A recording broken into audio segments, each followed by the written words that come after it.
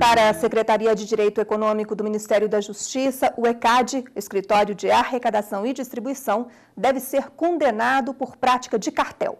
Saiba por que na reportagem de Carla Vatier. Formado por nove associações, o ECAD é responsável pelo recolhimento e distribuição dos direitos autorais no Brasil.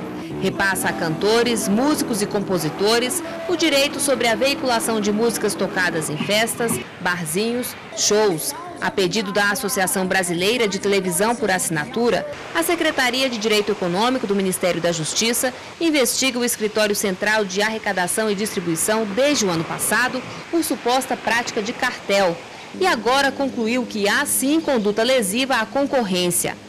Apesar de ter um monopólio legal na arrecadação, o ECAD não pode fixar os preços cobrados e muito menos unificá-los. Segundo a Secretaria de Direito Econômico, os valores deveriam ser determinados por cada associação, baseados nos próprios custos, estabelecendo concorrência entre elas. Essa maior concorrência no setor certamente teria implicações muito positivas.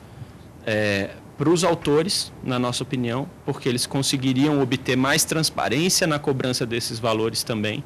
E, de outro lado, também, é, eu acho que isso beneficiaria, beneficiaria os usuários, rádios, TVs por assinatura, é, hotéis, restaurantes e o consumidor final, que poderiam exigir é, valores mais adequados para a execução é, desses direitos autorais é, dessas obras musicais, já que as associações teriam que correr, concorrer também entre si para oferecer esses, esses serviços a, a, esses usuários. A Secretaria de Direito Econômico recomenda ainda que sejam retiradas as barreiras que impedem a criação de novas associações e que o ECAD seja fiscalizado por algum órgão do governo, o que não acontece hoje. A decisão segue para julgamento do CAD, o Conselho Administrativo de Defesa Econômica, que dará a palavra final. Em nota, o ECAD questionou a prática de cartel apontada pela Secretaria de Direito Econômico e justifica que, abre aspas, as atividades de arrecadar e distribuir direitos autorais não são de natureza econômica, já que a música não pode ser caracterizada como um bem de consumo a ser ditado pelas regras da concorrência. Fecha aspas.